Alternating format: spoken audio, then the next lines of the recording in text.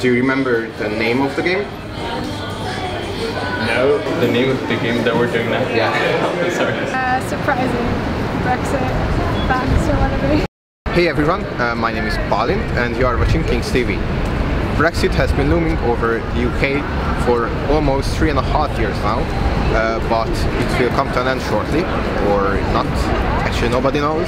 Uh, but here at King's TV we decided to play a funny game uh, with Kings students around Strand campus. Uh, check it out.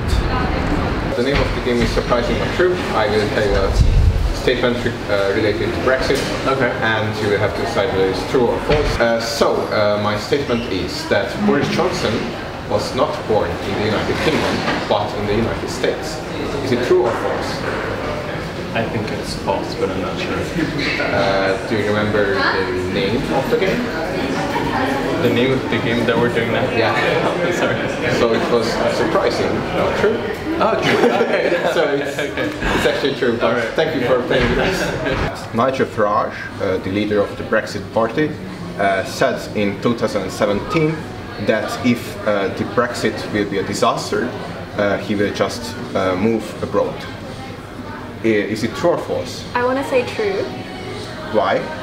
because it seems like something he would say. Pretty messed up. Yes, well done. it's surprising, but it's true. Dominic Cummings, uh, the leader of the Vote Leave campaign, and uh, Jacob Rees-Mogg, uh, the leader of the House of Commons, uh, both uh, said that there should be a second referendum in 2015 and 2011 respectively. Is it true or false? False. Uh, do you remember the name of the game? No. So the name of the game was surprising, but true. Oh, okay. Jeremy Corbyn is the most unpopular leader of the opposition for the past 45 years. Is it true or false?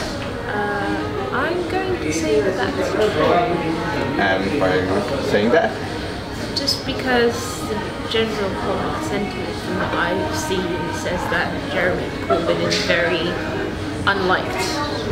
well, you're right. That's Okay. surprising, but it's true.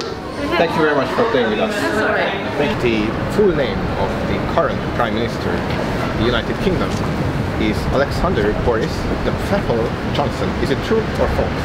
Uh, false. Do you remember the name of this game? Uh, surprising. Brexit.